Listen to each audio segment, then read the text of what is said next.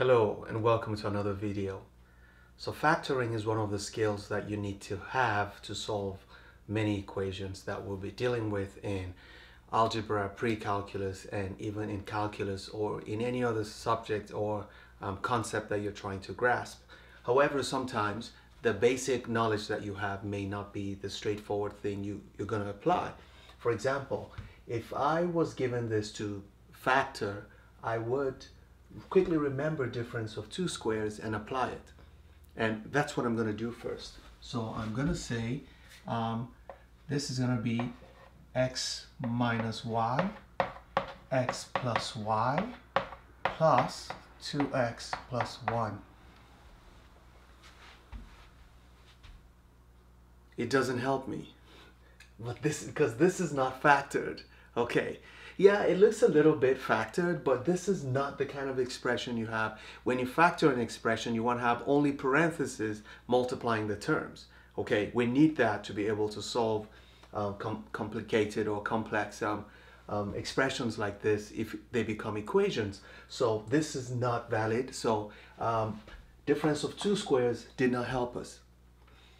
Um, what if we put x squared and 2x together and put y squared and 1 together. Maybe that might be the secret. So we're going to say um, x squared plus 2x.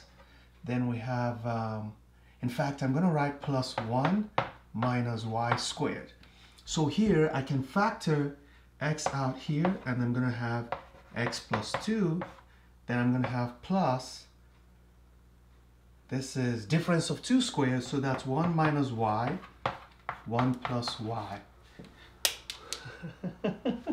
Interesting. Okay, 1 minus y and 1 plus y. Is this any better?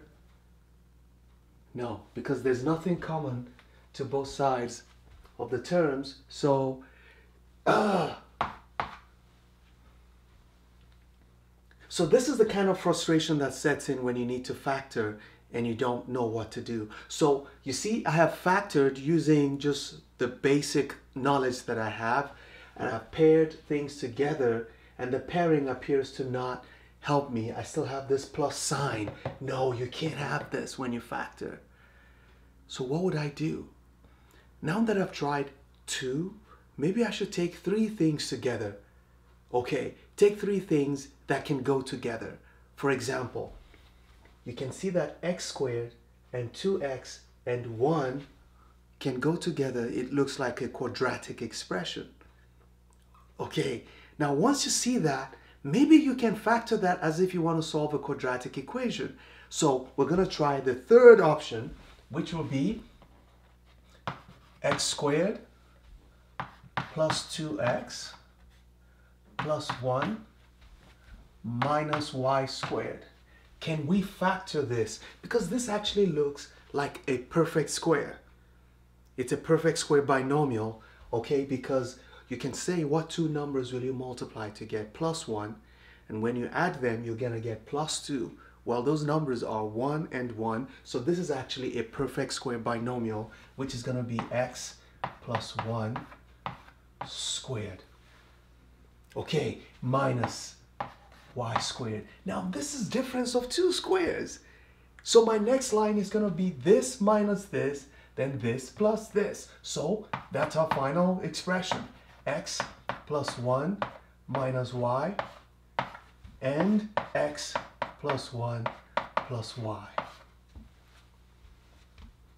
If you want to rearrange or change the position of this, that's your business. But that's your answer.